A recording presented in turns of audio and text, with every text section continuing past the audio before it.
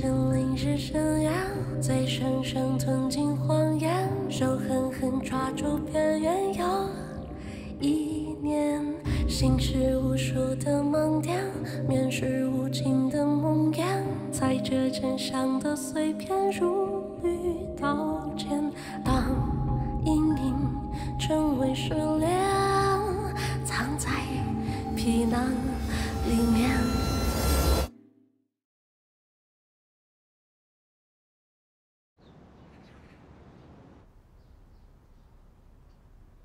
那日记本你放哪了？你得赶快找到这东西，把事情搞清楚啊！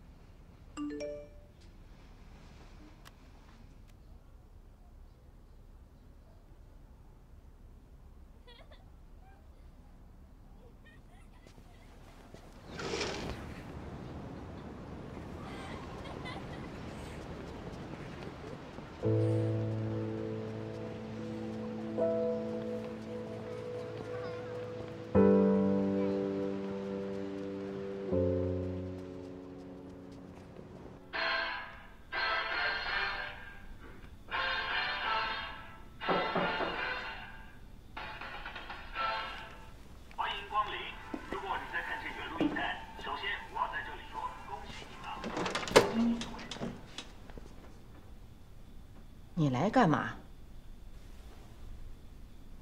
我有话要说。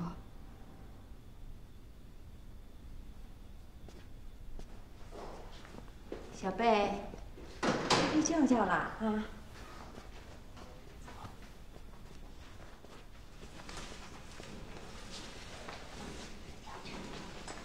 来了，坐吧。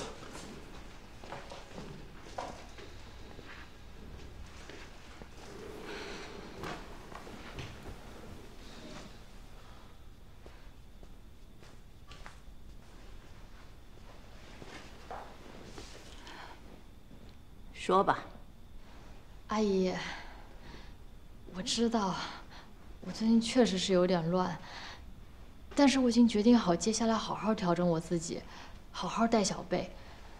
所以，请您允许我，让我把小贝带回家吧。哼，是，我是忘了很多事情，但是关于小贝的事情，我一件都没有忘。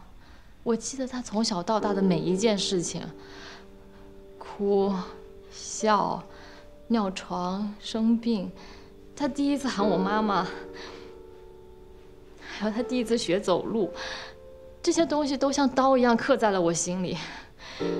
这是一个母亲的本能。李俊，这些事情你最清楚的。这五年来。小贝的衣食住行哪一点我没有做好？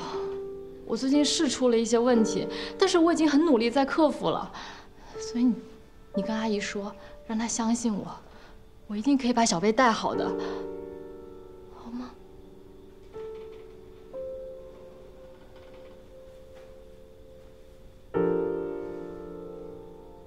李俊，我做了那么多，难道我就不值得你为我说一句话吗？你先别激动。我只是暂时让我妈带小贝一段时间。暂时是多久？先走一步看一步吧。就直说吧。你们就是想把小贝从我身边夺走，是不是？你胡说什么？他是我的骨肉，是我的亲生孩子。你们就这样随随便便把他带走，那我呢？这对我公平吗？那我算什么呀？我算什么呀？瞧瞧，生了个孩子就多了不起似的。你是什么身份？你配跟李俊在一起吗？顾诗雨，我告诉你，无论你耍什么手段，都逃不过我的眼睛。你想进这个家，门都没有。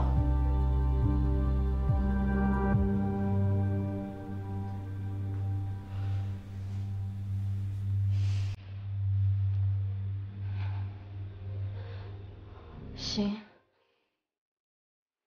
我可以离开这个家，但我要把小贝带走。你不能带小贝走，为什么？我是他的母亲。小贝是我李家的孩子，母亲是优先抚养人，我可以去法院告你们。瞧瞧你自己吧，有没有这个能力？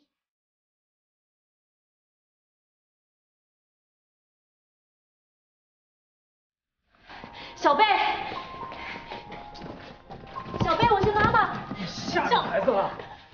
小贝，你冷静点你这个疯子，你给我滚出去！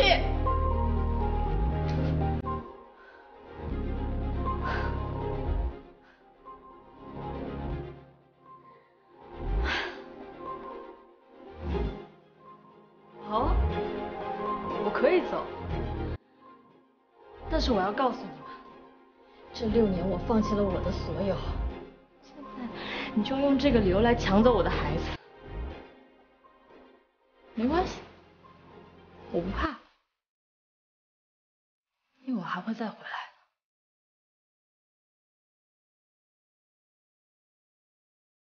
我会成为一个强大的母亲。足够强大。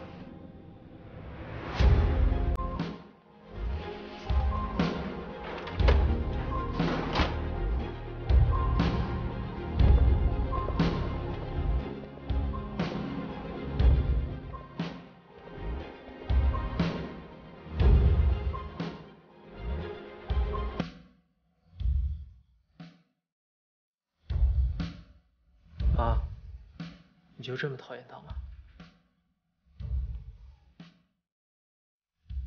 不是讨厌他，我是害怕。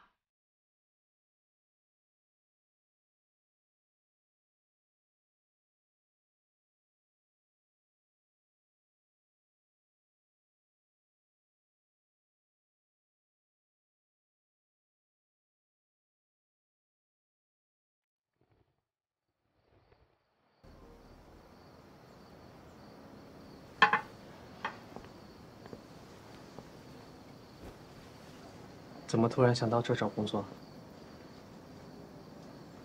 我需要透口气。其实你的事儿，佳美都和我说了。你有什么需求，我尽全力帮你。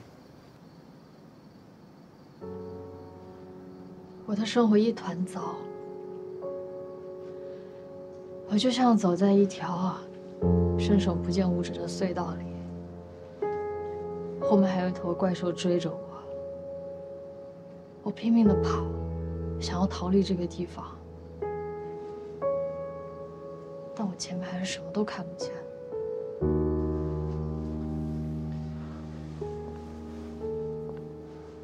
那是因为你困在自己的世界太久了，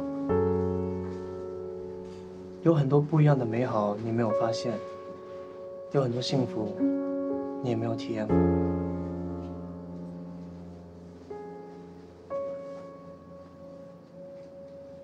可是爱一个人，为什么会这么辛苦啊？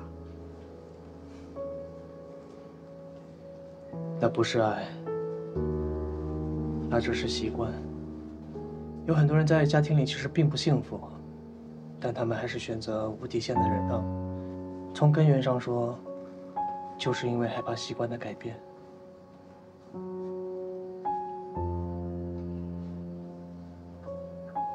你今天到这儿来，我很开心，因为你向习惯宣战了，你很勇敢。恭喜你，顾女士，面试通过了，欢迎到艺术中心上班。